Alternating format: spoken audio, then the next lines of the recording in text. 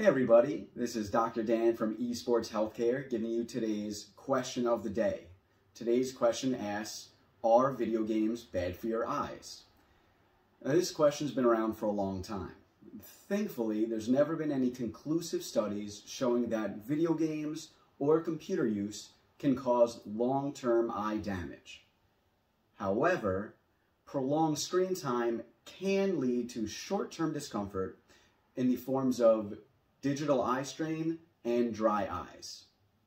Digital eye strain is an irritation of the small muscles of the eye and is caused by two factors. The screen you're looking at takes up a limited area and it is at a static distance.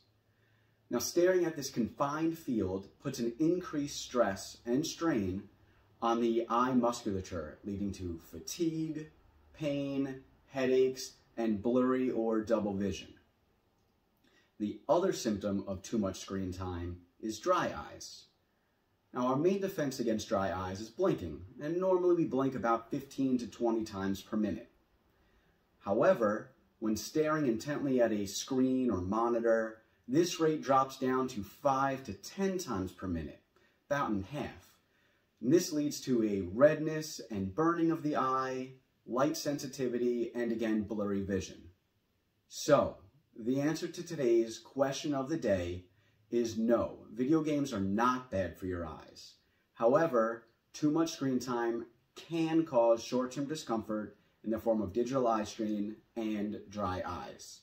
To learn how to combat this discomfort and for more information, check out our website at esportshealthcare.com subscribe to us on YouTube, and check us out on Twitter at esports underscore health. Thank you for watching and check us out tomorrow for the next question of the day.